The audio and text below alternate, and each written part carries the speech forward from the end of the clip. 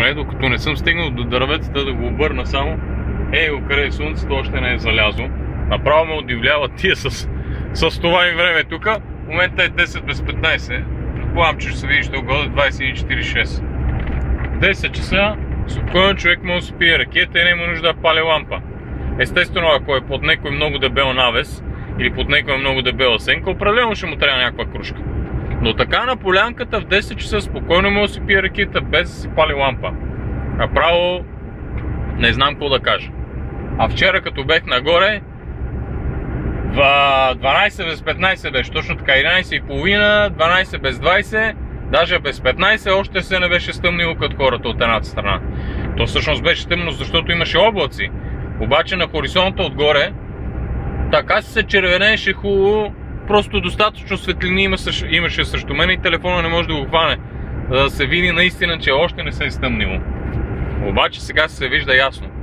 Даже без 10 стане 47, със сигурност 10 часа спокойно, идеално масата, салатката, доматките, краставичките и ракийката ще стане много, много добре. Без да се е стъмнило, естествено.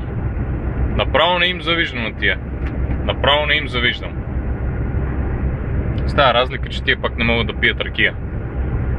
Пробахме го един французи миналата година. Той като рече, леле, какво вика това Spirit Juice? Като почна Spirit Juice, Spirit Juice и нищо друго не казваше. И отказа тотално.